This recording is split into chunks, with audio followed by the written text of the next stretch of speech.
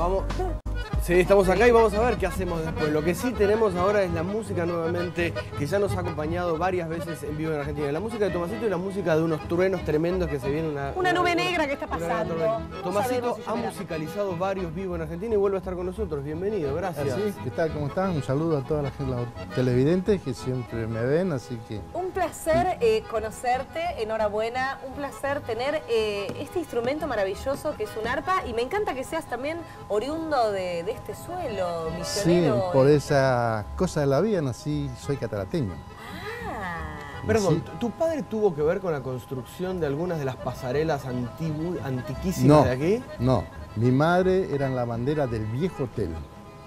En la época de cuando la lencería del hotel se lavaba en la parte superior de las dos hermanas. Y mi madre vivía en el mirador ahí abajo, en el- ese edificio redondo que está dentro del área de parque. bueno, Ahí- o sea que conoces muy bien toda, naciste acá. Así. Y el arpa, que es un instrumento, un- es, es el instrumento nacional de, de- de- de varios países, de Irlanda, de, de Paraguay, ¿no? Bueno, sí, en, en toda Latinoamérica. Es un instrumento milenario, o sea, 3.000 años antes de Cristo. Sí, claro. Entra a América antes que los españoles por los vikingos, dicen. Y a tu mano cómo llega, porque Y esa es la historia vida. que Y sabemos. en mi vida, o sea, yo siempre digo, la naturaleza es sabia, te quita algo pero te da otra.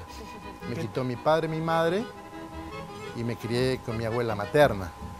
Y en el área de Catarata había una escuela de Juan Manuel de Camposal, escuela número 158.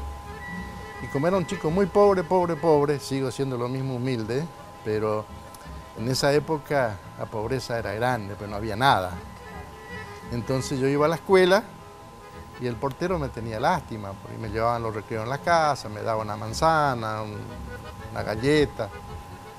Y tenía una arpa vieja en la casa, y yo enamorado del arpa. Claro, es para enamorarse. Y bueno, en aquella época, en primer enfermero superior, tenía que pasar segundo. Él quería que yo pasara segundo, pero el segundo grado ya empezaba a leer, a escribir, que lo que realmente necesitaba, ¿no? Claro. Y bueno, me dijo, si pasás segundo te regalo. Sabés que mi mente era 5.000 kilómetros por hora, yo andaba por el largo. pa. Y aumenté las notas, pero como nada, y pasé de grado y me regaló el arpa.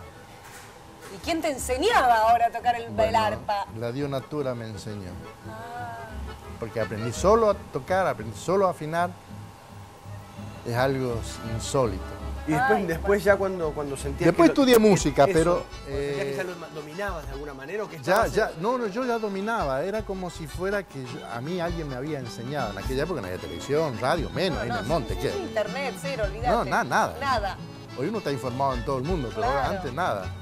Y bueno, en esa época yo aprendí a afinar por una canción.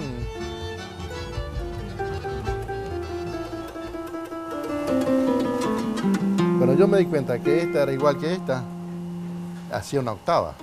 Claro. Y así afiné el arpa. O sea, ¿te zambulliste y dejaste el estudio ahí? ¿O seguiste paralelamente con el estudio, con el... Con el con No, no, no, no, no, no, no, no. Después seguí, porque yo cuando fui a estudiar música ya era un músico más del montón, ya andaba entre los guitarreros, yo ya sabía las notas, o sea, pero no sabía leer. Claro. ¿No sabías leer eh, partituras? Partitura. No, no, no, ni noción tenía. Pero ya era un músico más, o sea, en sí pareciera que mi espíritu, mi alma, pareciera que tenía informaciones musicales. Es que está, es, lógicamente, hay algo ancestral que está. Sí. ¿No? Y bueno, según los músicos, los musicólogos que me hicieron entrevistas, qué sé yo, puede ser un ángel protector o, o un espíritu intuitivo, que todas esas cosas que uno a veces creer, no- sí, no- o sea, existen, andan existen, por ahí dando sí. vueltas. Y me hicieron preguntas si es verdad que yo por ahí toco canciones que no. Es verdad, a veces toco canciones que yo ni sé. Se me viene, ni sé ni qué estoy tocando, pero estoy tocando. Baja de algún lugar. De algún lugar baja. Y también, o sea, bueno, toda esta magia, el arpa, todo esto que contás, hizo que el príncipe de Japón te invitara a visitar su palacio imperial en el año 2002. As- no, en el 2002 no. ¿No? En el 96. Ah, Ah, bueno, ¿Fue una en el equivocación? no? 96. En el 96. Bien. Está bien. ¿Qué, qué- y qué bueno. tocaste en su momento aquella vez? ¿Te acordás? ¿Aquí, ¿Al palacio? Sí. Todo. Porque el japonés conocía. Yo tuve que aprender a tocar los ejes de mi carreta allá porque conocía. Y él tocaba la guitarra. Yo Y, te puedo pedir algo de los ejes. No, no, en general no quiero pedir que- una canción porque quiero escuchar lo que sea. Sí. Pero dijiste los ejes de mi carreta y me gustaría escucharte un poquitito ¿Sí? de los ejes. sí, ¿por qué no? ¿Se puede? Todo se puede acá. Si me da un segundito nada más. Sí, claro que tiene que preparar.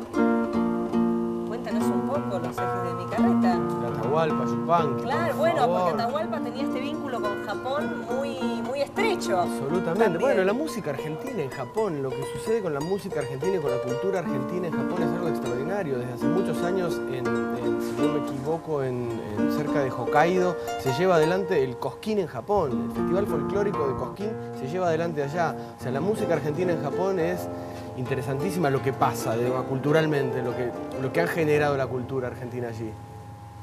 ¿Ya ¿Listo? ¿Listo? Vamos entonces.